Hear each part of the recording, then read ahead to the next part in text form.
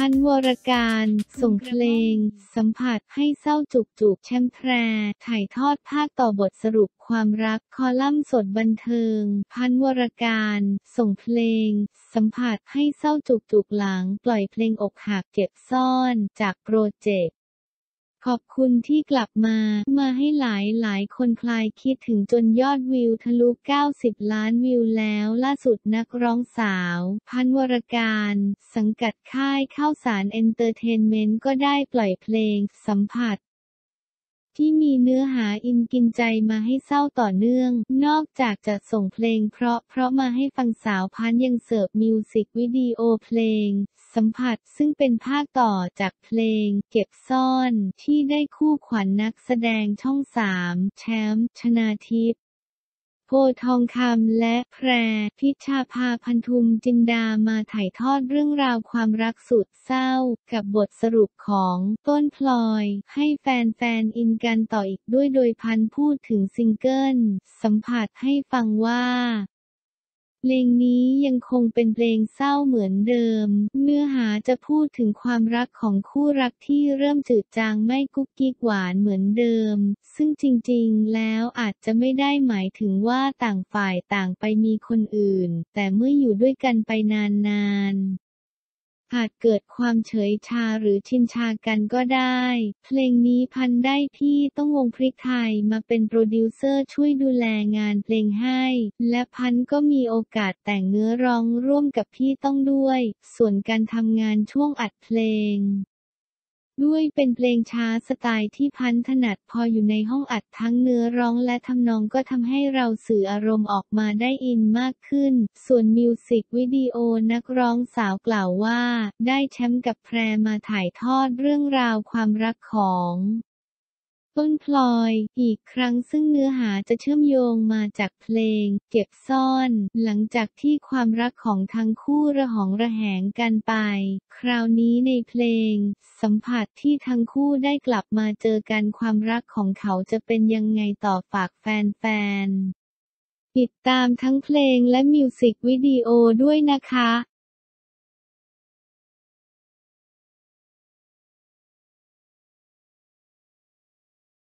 สวีทฝ่าดราม่าแต้วณัฐพรอวดซีนหวานไฮโซในส่งอาหารถึงหน้าบ้านสวีทฝ่ามรสุมดราม่านางเอกดังแต้วณัฐพรเตมีรักอวดซีนหวานไฮโซในส่งอาหารถึงหน้าบ้านชมเปาะน่ารักไปไหมเนี่ย เรียกว่าเจอกระแสดราม่ารัวๆเลยทีเดียวสำหรับนางเอกสาวชื่อดังแต้วนัทพรเตมีรักเมื่อล่าสุดออกมาโพสต์ภาพถ่ายหน้าร้านกาแฟแห่งหนึ่ง โดยไม่สวมหน้ากากอนามัย หลังกลับจากไปตรวจโควิดรอบสาม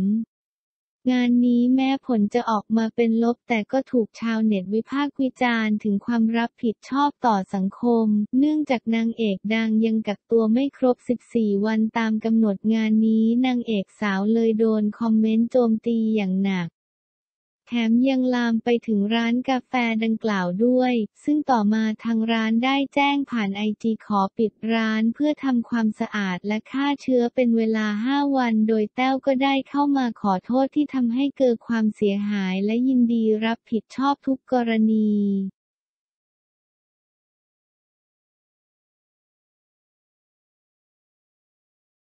แม้ว่าจะจอดดราม่าหนักหนา แต่ล่าสุดก็มีเรื่องที่ทำให้สาวเต้ายิ้มได้เมื่อหวานใจไฮโซนายประนายพรประภาเดินทางมาหาถึงหน้าบ้านพร้อมนำอาหารชุดใหญ่มาส่งให้โดยนางเอกสาวได้อวดซีนหวานผ่านไอจีสตอรี่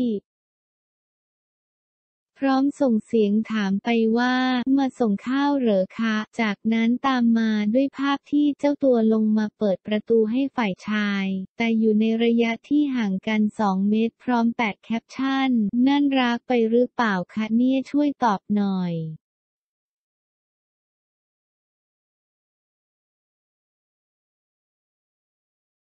เปิ้ลนาคอนภูมิใจน้องออก้าเก็บเงินก้อนแรกในชีวิตซื้อโทรศัพท์ในฝันเปิ้ลนาคอนภูมิใจน้องออก้าเก็บเงินก้อนแรกในชีวิตซื้อโทรศัพท์ในฝันเปิ้ลนาคอนภูมิใจเรียกว่าเป็นความภาคภูมิใจของครอบครัว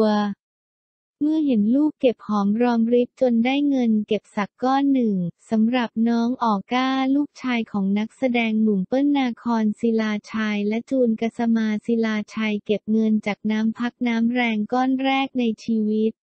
เพื่อซื้อโทรศัพท์ในฝันที่ตนเองอยากได้ ตัวเล็กแต่แจ๋ว น้องออก้าโชว์ลีลาขับเจ็ตสกีโต้คลื่นสูงกว่า 2 เมตร ขนลุกน้องออก้าตกเจ็ตสกีฮึดสู้พลิกแซงเข้าที่หนึ่งเปิ้ลถึงกับยกมือไหว้ออก้าซนไม่เบากระโดดสปริงบอร์ดล้มนิ้วก้อยเท้าหักหวั่น หายไม่ทันแข่งเจ็ตสกี โดยคุณพ่อเปิ้ลได้นำคลิปวิดีโอระหว่างน้องออก้านับเงินโพสต์ลงอินสตาแกรม โดยมีแบงค์พันแบงค์ห้าร้อยแบงค์ร้อยแบงค์ห้าสิบและแบงค์ยี่สิบกองอยู่ข้างหน้าโพสต์ผ่านแคปชั่น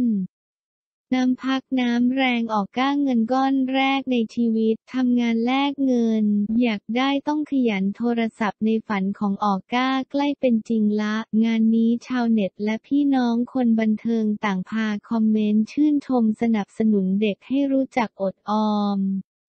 ใช้จ่ายเงินอย่างมัธยัติโดยเผยว่า สอนลูกดีมากค่ะ เก่งที่สุดเลยครับก้า สอนลูกเย้ยมากให้รู้ค่าเงิน หาเงินกันตั้งแต่เด็กข้อมองย้อนดูตัวเอง เก่งมากค่ะเป็นแบร์บอยย่างที่ดีน่าชื่นชม ชื่นชมค่ะเป็นการสร้างวินัยที่ดีสำหรับเด็กค่ะ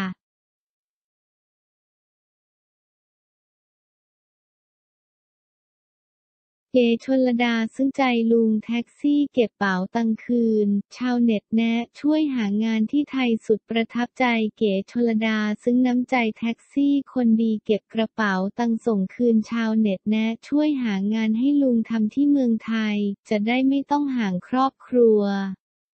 ถือเป็นเรื่องราวดีๆ และน่าประทับใจของนางแบบพิธีกรสาว เก๋ชลดาเมฆราตรีที่ได้นำมาเล่าสู่กันฟังผ่านทางไอจีส่วนตัว หลังเจ้าตัวลืมกระเป๋าสตางค์ไว้บนรถแท็กซี่ แต่ลุงคนขับใจดีนำมาคืนให้ทั้งนี้เก๋ชลดาได้โพสต์ภาพคู่ลุงแท็กซี่พร้อมเขียนข้อความขอบคุณในน้ำใจว่า คนดีที่หนึ่งของเก๋วันนี้สดสดร้อนร้อนเลยค่ะคุณลุงทัชพงษ์แจ้งจำรัดคนขับ KBB ขีดล่างออฟฟิเชียลเก๋ซึ่งใจประทับใจไม่รู้จะพูดยังไงยิ่งฟังคุณลุงพูด กระเป๋าเงินเงินหายเรื่องหนึ่งแต่บัตรต่างๆ เอกสารถ้าคุณเก๋ทำหายไปคงยุ่งยากน่าดูโอ้เยยคุณลุงขาทำไมแสนดีแบบนี้ และตอนแรกไม่ยอมรับเงินขอบคุณจากเก๋อีกยื้อกันนานมากเก๋ลืมกระเป๋าเงินไว้ในรถแท็กซี่ข้าออกไปข้างนอกใกล้ๆบ้านเลยใช้บริการ CABB Car Company App และดูความโกเอ๋อสิคะกลับถึงบ้านยังไม่รู้เลยนะคะว่ากระเป๋าเงินไม่อยู่ผ่านไปเกือบ 40 นาทีโทรศัพท์สามีดังขึ้นบอกคุณผู้หญิงลืมกระเป๋าสตางค์ไว้ในรถครับ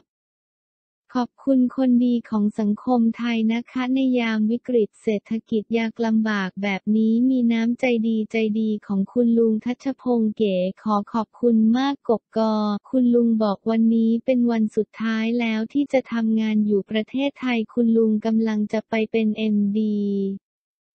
บริษัทขายปุ๋ยอินทรีย์ที่ประเทศพม่าค่ะเก๋กับพร้อมขอเป็นกำลังใจกำลังใจกำลังใจกำลังใจให้คุณลุงโชคดีประสบความสำเร็จในสิ่งที่ฝันนะคะฝากบริษัท AEC Fertilizer Organic จำกัด AEC Fertilizer Organic Co